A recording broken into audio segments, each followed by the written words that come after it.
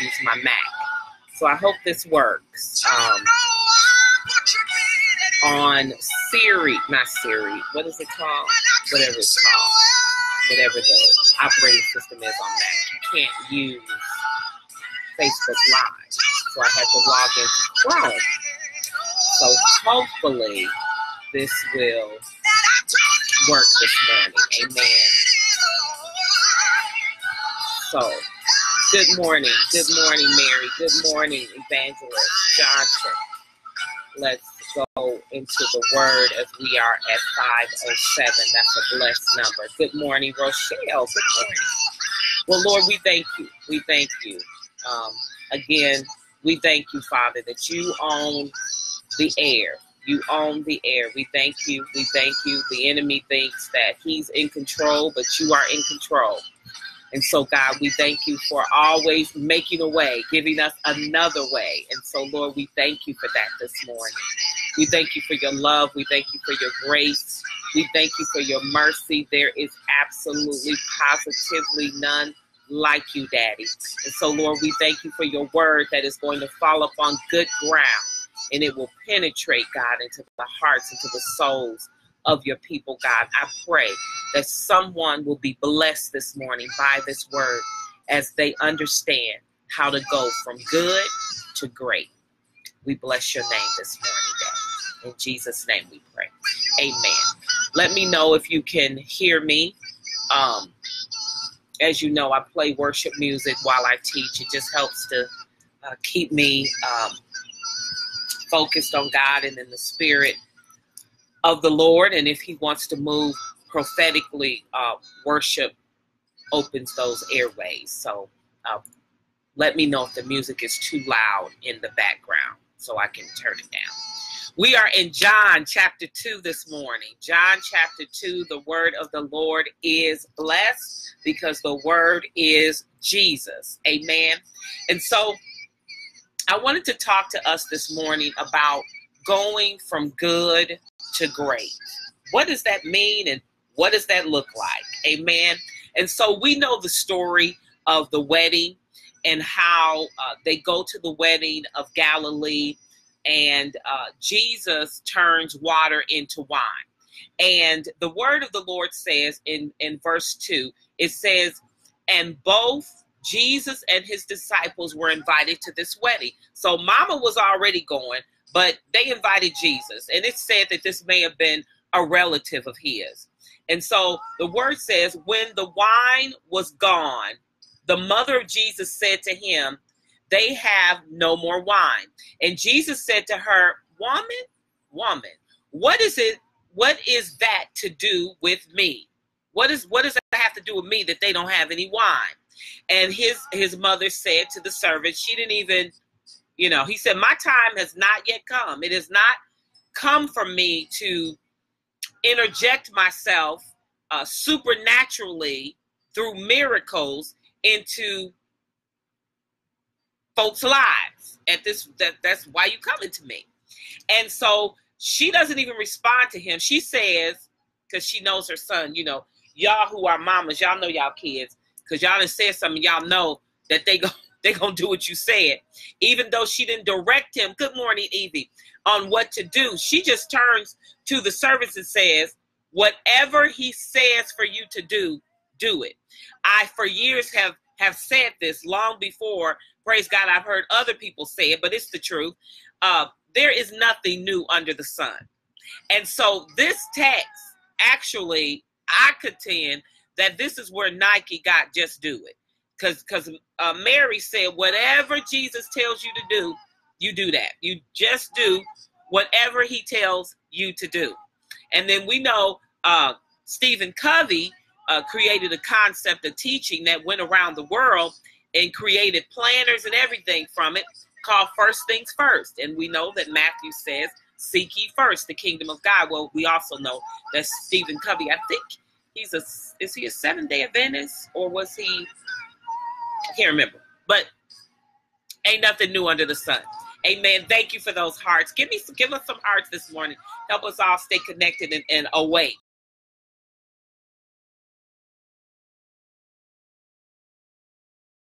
And teaching.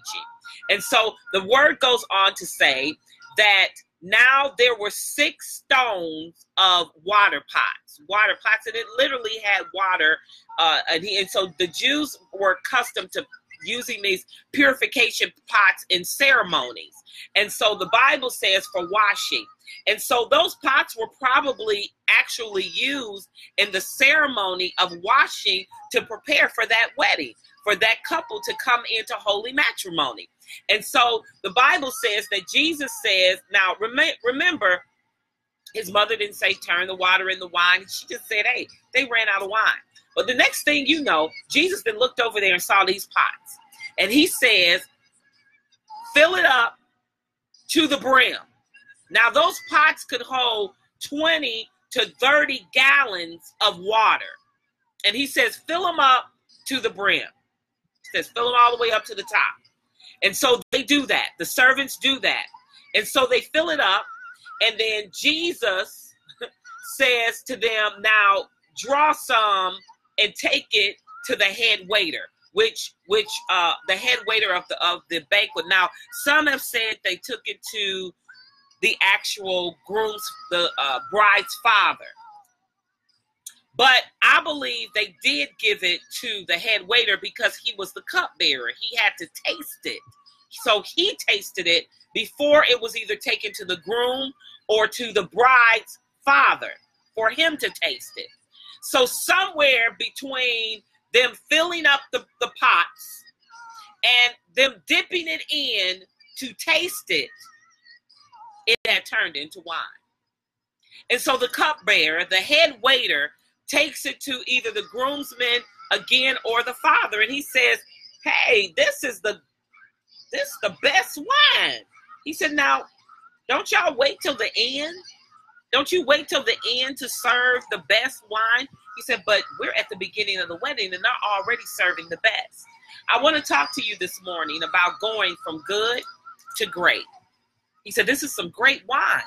And we're serving the best, the greatest thing up front. Don't you normally wait until the end? God has a word for someone this morning. He is no, it is not necessarily necessary for you to wait to go from good to great anymore. You're waiting on this person to finish what they started, or you're waiting for that person to have their turn. You're waiting for other people, or you're saying it's just not my time yet. But God says, I want to take you from good to great. Now is your time to go from good to great. Oh, you're good. You're good at singing. You're good at baking. You're good at teaching. You're good at preaching. You're good as a mom. You're good as a dad. You're good as a husband. You're good as a wife. But God wants to take you from good to great. And the thing that is required to go from good to great, somebody needs to recognize in you that there's greatness. There's something lacking. What's lacking? What's lacking in you this morning? Is it your study? Is it your study? Do as a minister of the gospel, as a preacher, as a teacher, a prophet, evangelist, apostle. Is it your prayer life? Is it your study? What is it that God wants to have you work on today so you can go from good to great? You're a cook, you're a chef, you're a baker, you know, you're you're um gifted in those things. But God wants to take you from good. Oh, this is good. Yes, it is. But God wants someone to say, that's great. That's a great. You are a great cook. You are a great teacher. You are a great preacher. You are a great mom. What is it that you need to do? Do you need to spend more time in prayer? God, teach me how to do this with my family and this for my husband and this for my spouse. What is it that you need to do to go? Because, see, they were lacking something at this wedding. They were lacking something. And someone recognized it. And someone spoke to it. This morning, I speak to your greatness. I speak to your greatness. And I ask Jesus to come, the Holy Spirit to be stirred up in you, to touch you this morning, so that you can go from good to great. Invite someone into this, tag someone into this, because you have friends who are stuck. You feel like you're stuck, that there is another level that God is calling you to in your life. What is going on right through here? That some God is calling you to in your life and you're like how do i how do i get to that it's something that's missing it's something that you probably need to do. I say it all the time. You are not god is not waiting. You are not waiting on god. God is waiting on you. There is something that god is requiring of you to do. Something to give up. Something to add to. It is something that God is requiring of you to do for you to go to the next level, to go from good to great. No, everybody's not going to be a millionaire. Everybody's not going to be uber goober, amen, rich, right? Or wealthy. But God doesn't want you to struggle from paycheck to paycheck. That was not his plan. He said, It is uh, he said, above all, I wish that you would prosper and be in good health, even as your soul prospers, even as your mind, your will, and your emotions prosper, even as you grow in God and you mature in God and you become perfect in the things of God. That word perfect means mature. He wants you to grow. And so as you grow, God wants to add to you. And as you are adding to your faith, God is adding to you, and you will go from faith to faith and glory to glory. What is it that God needs to add to you, that He needs to touch, that you need to present to Him to say, This is the pot that I need you, that I want you to feel. My body is the temple of the Holy Spirit, and I want you to feel me, feel me afresh, and then touch me, Lord. Touch me so I can go from good to great. You're a great, you're a good writer. You're a good writer, but God wants you to be a great writer. You're a good singer, but God wants you to be a great singer. Maybe He has an album in you, He has a book in you, He has another career in you, another direction He wants you to go in your career, and you're staying right there because you're saying, This is good enough. But God's saying, I have more. I don't understand. I don't understand why people think good is enough. Do you know good in school is a C? That's average. Good. You did a good job. That's a C. Good morning, Brother Benson. That's a C. But okay, above average, C plus. So you you a little better than good. But God wants you to recognize that He put greatness in you. Greatness is in me? Somebody, yeah, absolutely greatness is in you. You know how we know greatness is in you? Because Jesus is in you. Jesus is in you. The Holy Spirit is in you. He's a great God. We sing the songs, right? Did we forget that greatness is in us? Greater is He that is within you than anything that is in this world. There's greatness in you. And God is calling you to be great. He's calling you to be great. Listen, when you when you are sick in your body and the enemy is tempting you with a diagnosis, be like, wait a minute, wait a minute, wait a minute, wait a minute now. Greatness is in me. I speak to the greatness in me, not the sickness in me, not the diagnosis that is in me, not the lack that I'm in the middle of. God wants you to be reminded that greatness is in you, and He wants to take you from good to great. So, what is that journey? Of good to great look like today? Well, we see here in scripture, as I already alluded to, someone has someone speaks to the greatness, someone speaks to the more, someone speaks to uh, there is something lacking. Something lacking. You have a business and and I don't know, maybe you spend eight hours a day you know, doing your research and getting out there looking for opportunities. Maybe you need to step it up to 10. What's lacking? I really want you to be conscious, diligent to ask yourself these questions. if I want to go from good to great in that, whatever that is for you, what do I need to do, Lord? Show me. Show me what do I need to do to go from good to great in that, in your health, in how um, you want to have you want to have a better better health. You want you want to lose weight. You want to have better health. You want to so what do i need to do? Well maybe you're walking 30 minutes. Now you got to step it up to 45 to an hour. Maybe it's what you're eating. You got to take you know you know hey some atkins diet i don't know what it is i'm not telling you what diet but if you know that you have to lose weight then maybe you have to stop eating some things or take some things out of your diet so you can have great health. Again, above all, I wish that you would prosper, you personally, and be in good health, be in great health, even as your soul prospers. The word prosper itself means great, it means better. It, it's a progressive word. Prospering is going from good to great, from faith to faith, glory to glory. It's going higher. When you prosper, you're always going higher. You're always going to bigger, better, greater, more. And that's what God wants. You had a good relationship with that dude. You had a good relationship with that girl, with that sister. But God wants you to have a great relationship.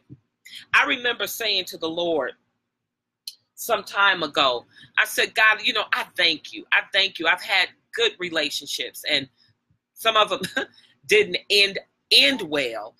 Um, and I, I declare that those men are good men for that woman. Amen. They just weren't a great man for me.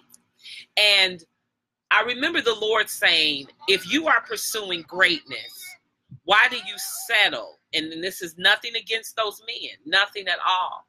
But why do you settle for a man who only wants minimal? You want great, but he wants minimal. You going after God hard to set me on fire and set me ablaze and anoint me afresh and you're you're praying and and in a season i literally i would put myself on an extensive fast and i'm i'm feeling like i need to go back to that that might be one of the things that's lacking in me i need to go back to my own personal extensive fast and he said why would you settle for mediocre for minimal for good when i'm calling you to greatness. I'm calling you to greatness. If the Bible says that God told Abraham, I will make your name great. I'm not necessarily going to make you great, but I'm going to make your name great. Your name will be renowned because when you're when when someone speaks your name they're going to speak of your character. They're going to speak of your intelligence. They're going to speak of your ability to articulate the word of God and speak the word of God and be a witness for God and be able to say thus saith the Lord. And so make my name great. Somebody say that this morning. Make my name great. I don't just want to be great. Make my name great because my name is going to represent you. When somebody speaks of Yvette, when someone speaks of Pamela, when someone speaks of uh, of of Alan, when someone speaks of Maria, when someone speaks of Tracy, when someone speaks of Destiny, they're gonna say that's a woman of God, that's a man of God. Make my name great and keep my character right, so that my your association with me ha, and my association with you is always good. It's always great. It's always favorable.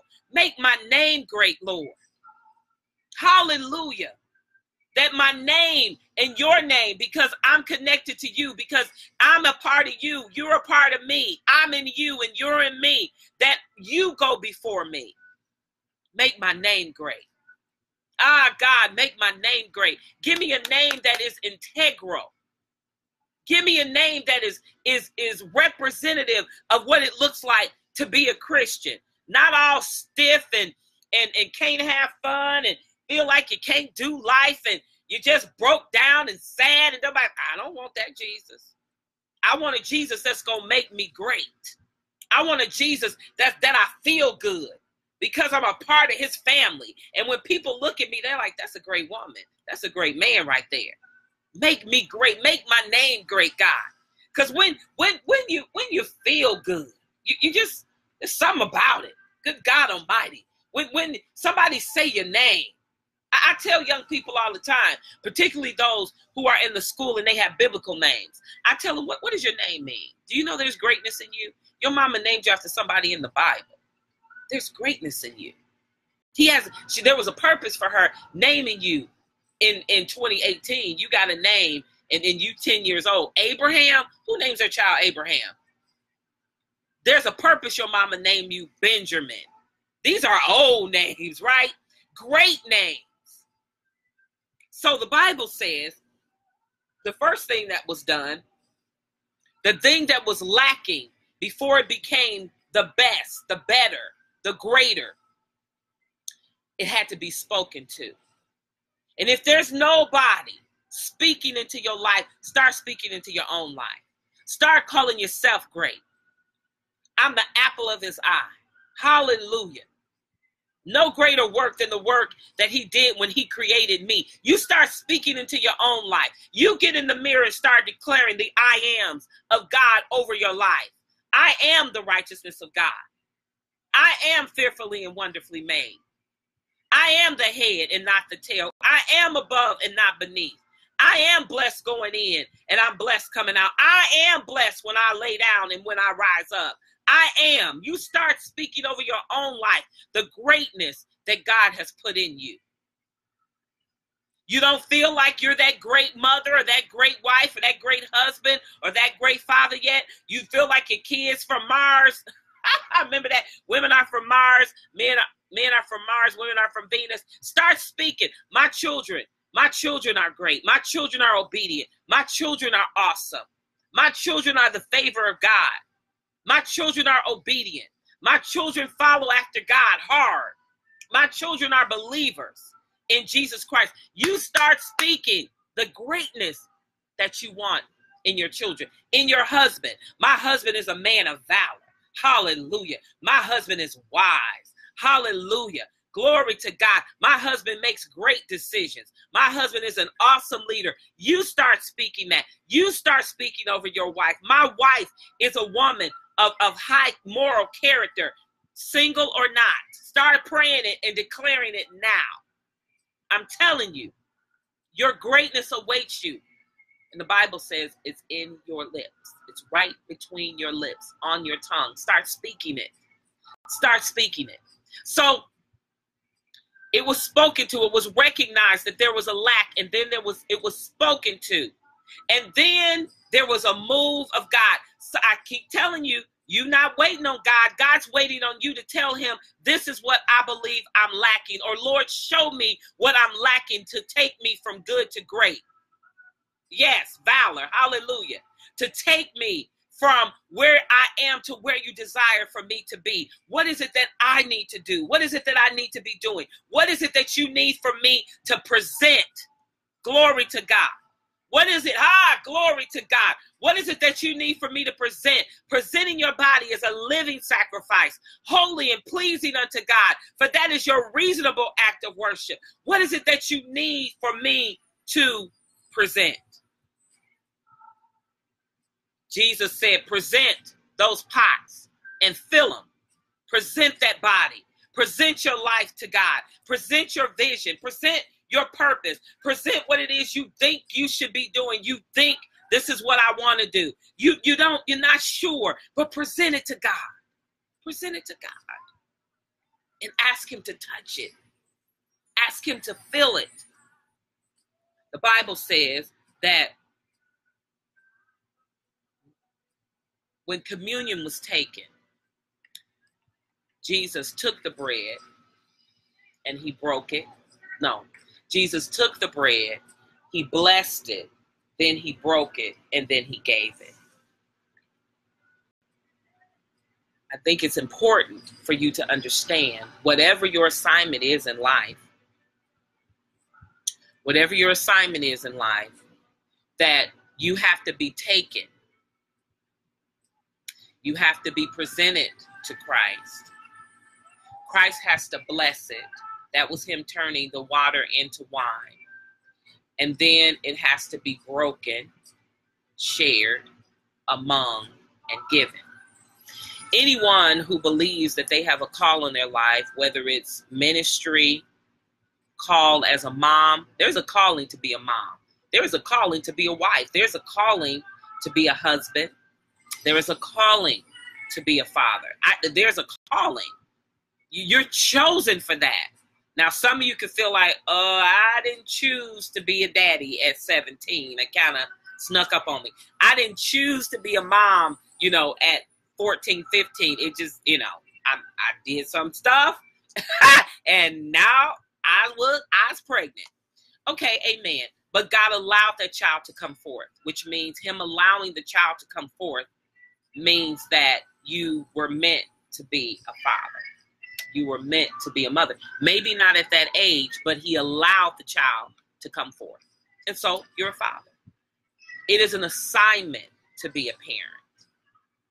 It's an assignment. Whether you're a spiritual parent, you're a parent to many. You know, the Bible talks about the barren woman who has many children.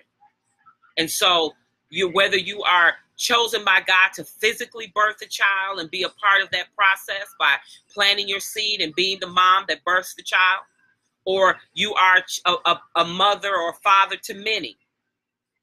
What's important is that you understand you have been chosen. So it's not just pulpit ministry. It's not just pulpit ministry. Any way that you serve God and you ra- raising your children in the fear and the admiration of the Lord is serving God.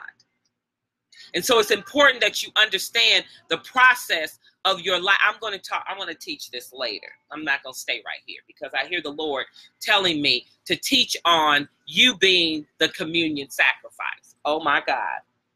You are the communion sacrifice. You are. So here we are with this wine. And it's turned in, water is turned into wine. And somewhere before in the dipping, in the speaking, the water is turned into wine.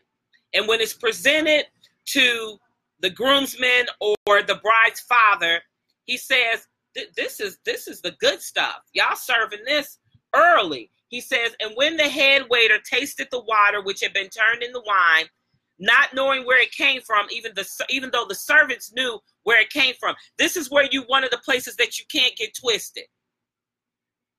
People will they don't know your journey, right?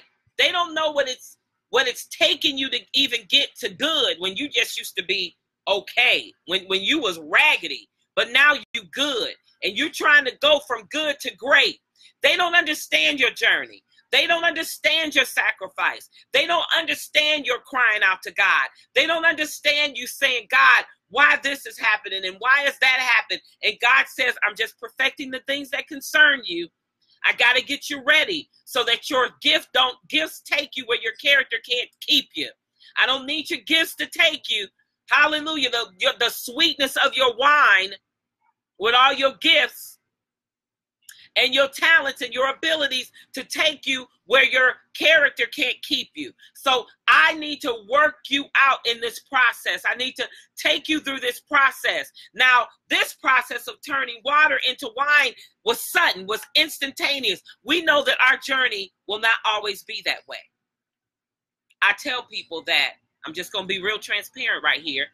I tell people that when I went to God and said, God, I want to wait for my husband. I don't want to enter into uh, relations with a man until I'm married. I did not know that it would the journey would be uh, this long. I did not know that when I made that confession to the Lord. But I have I have often said that even though I made the confession, I believe it was God who put it in my heart to make the confession. And it wasn't that Sister Tuesday had been out there doing all of this and that. That wasn't it. It was just that I had found this conviction in my spirit that I wanted to wait. Now, other things that I struggle with, um, I had to keep coming back to God. And one of them, I've given the testimony that my hands weren't clean. Uh, I, I used to steal starting as a teenager. And I said, Lord, I want to keep my hands clean and my heart pure. I had to keep coming to God for that. I had to keep praying. I had to fast. I was like, Lord, I, I, this is crazy. And the Lord told me, he was very clear with me about why I was being tempted in certain things that I was being tempted in. It listen, let me help you with something. If you're a liar, if you struggle with lying, telling the truth, partly it's because God wants to use your mouth to speak the truth. And so the enemy is going to tempt you to struggle with the thing and the place where God wants to use you most powerfully. So, my body being a living sacrifice as a minister of the gospel and having that testimony, that that is how God wanted to set me apart and consecrate me. The Bible says in Corinthians that to the virgin, virgin, Paul says, I don't really have any instruction about sexual immorality because you're good. But that don't mean that the virgin can't be a liar. It doesn't mean that the virgin can't be a thief. It doesn't mean that the virgin can't have a bad attitude, male or female. Good God Almighty. You know, you just mean. Hallelujah. You, you, you have trust issues. So there are other things that you can be struggling with. Even though God deals with this over here, you still got to deal with that over here. But because people don't know your struggle, they don't know your struggle. They don't know the fullness of your testimony. So when they taste you, good God Almighty, when they taste you, when they encounter you, they might get a little bitterness, or they might get something that that's oh, she just too nice. He just too nice. I mean, people just run over you because you too nice, but they don't understand you used to be a mean scoundrel, and God has softened your heart, and so you have to have that balance. They don't know your testimony. They don't know why you can be quick and you can be sharp with people because maybe you still have some hurt in you. Maybe your wine ain't been all the way turned sweet. Maybe it ain't ready to be served yet. Maybe it ain't ready to be served. The Bible says that God, the word says in the Old, Old Testament, Ephraim, you are half baked, which means one side of them was baked and the other side wasn't. So sometimes you got to be turned, right? So both sides can be baked. So all parts and all aspects of your life can be dealt with. And you can't rush God in that process. But that doesn't mean that God doesn't want to take you from good to great. But you got to go through the process. So he takes that wine to the groomsman or to uh, the the uh, the bride's father, and he says, "Well, wait a minute now. What is this? Y'all y'all serving the the best stuff now. He said, You're serving the greater now. He said, Wait a minute, wait a minute. Everyone else serves the best wine, the greatest wine first when the people have drunk freely. So now they're they're um they're drunk. So they they serve the best wine uh up front. He said uh everyone else serves their best wine first. And when people have drunk freely and they are intoxicated, he says, uh, then they serve the wine at the end. Uh, but you have kept back the good until now. So, in and I think I said that incorrectly in the front. They serve the best wine up front, and then they serve the bad wine at the end. Because you're drunk, you don't care, right? So, wine. Let me help you to understand what wine represented wine represented wine was a relational um, drink it was a it was it built it built community okay? So it was about coming together in community. You didn't drink wine just to sit around and get drunk. You drank wine for fellowship. You came together for fellowship in wine. So it wasn't about you getting your moscato or your zinfandel amen, or your your sweet red wine, or you know, your sweet white wine, or whatever it was, your Chardonnay. It wasn't about that. It wasn't to get drunk. It was for fellowship. And so when they drank wine, and I really uh, want to um, hold on, guys. Let me look up something. Hold on. Hold on. Don't leave me. Hold on. And so, here we go. So when they would uh, drink wine, it was it also represented um how do I want to say this, Holy Spirit? Um it represented I want to say this correctly because I want to make sure you get this. Wine was the the better the wine, it also represented a level of prosperity, right? So you serving the best wine up front also could indicate kind of how you was rolling. But one of the things I really wanted to touch on was how it um it represented process. There we go. It represented process because you could not get to wine unless wine had been processed as from a grape. So it's the it was the process. It also represented the process. So when his mom came to him, when Mary came to him and said, "Hey, it, it ain't it ain't no more wine," and Jesus was like, "What they got to do with me?" He knew that required him to manifest a miracle it required him to manifest a miracle because you couldn't just go buy wine. You couldn't just run up to Walmart. What's that place here? 21, 21st century, 20 somebody century spirits or something.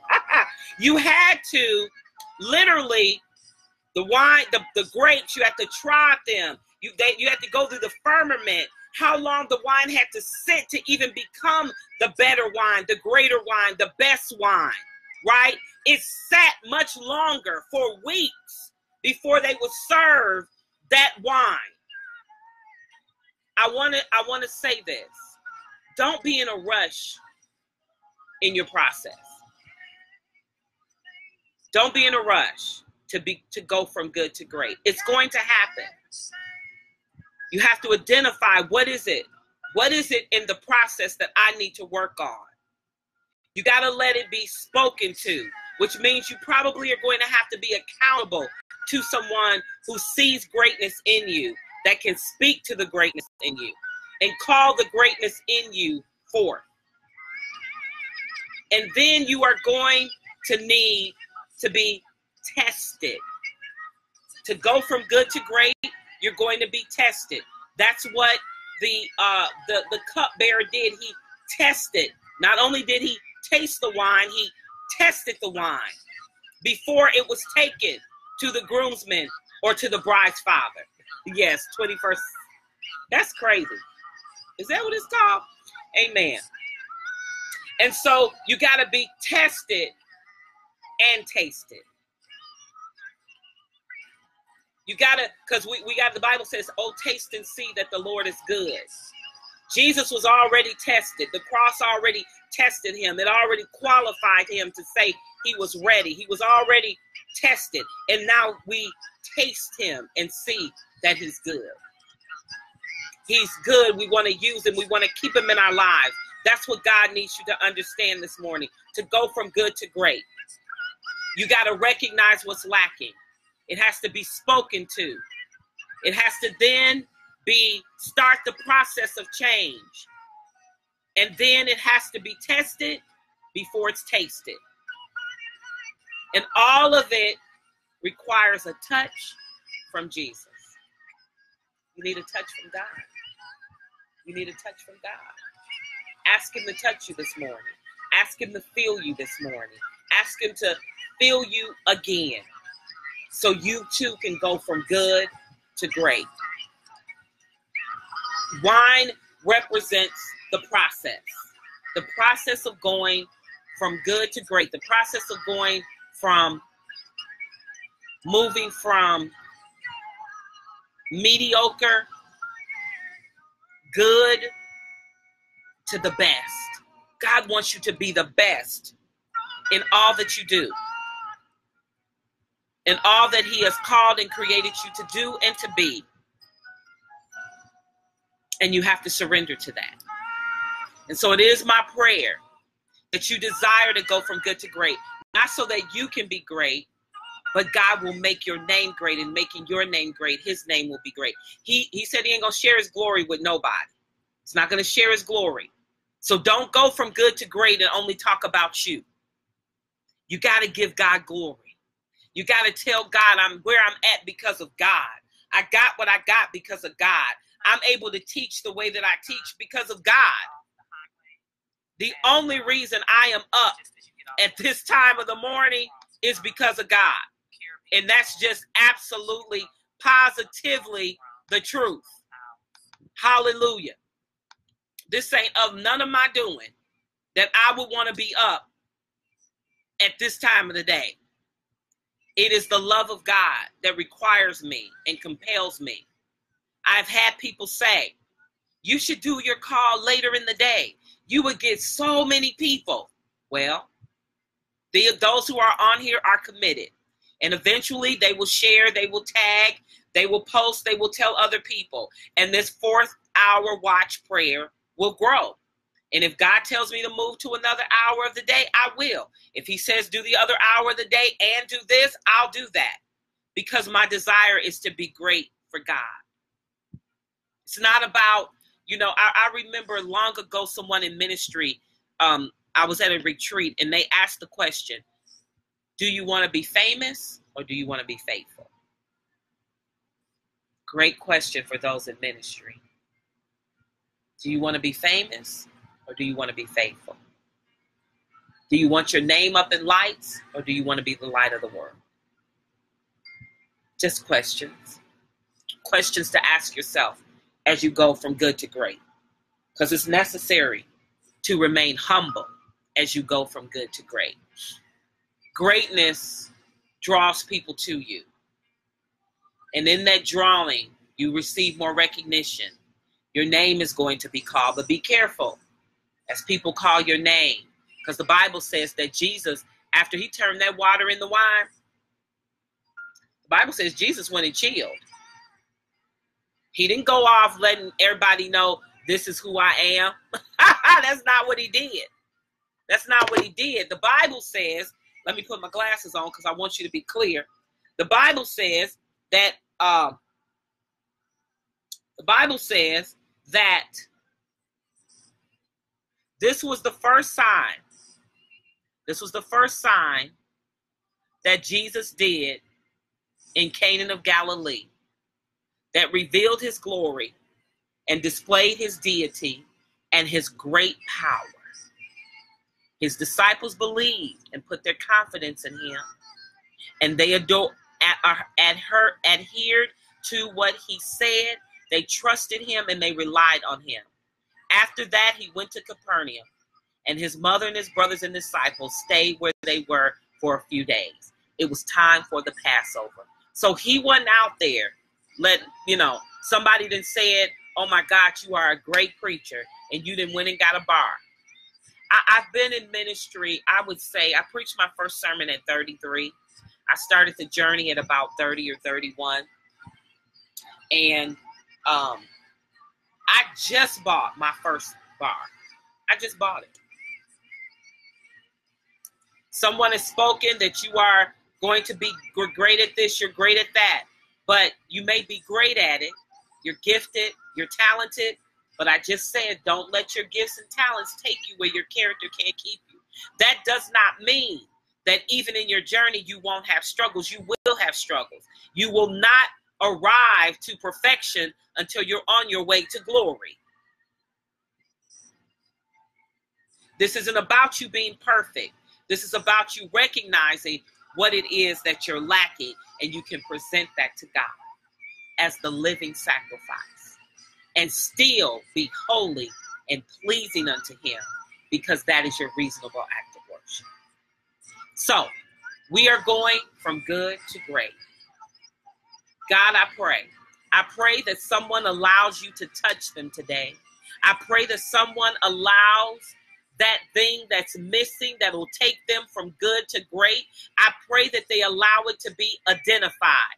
If they trust someone who can identify it and speak into it, and if it's not them that sees it, they allow someone whom they trust and that love them, who will say, I see this in you and I see that in you. And God wants to make you great in this area. Husbands to wives and wives to husbands and parents to children and friends to friends and brothers and sisters in Christ, God. I pray that we can see so we can say and call forth what it is that is in our brothers and sisters in Christ, Lord.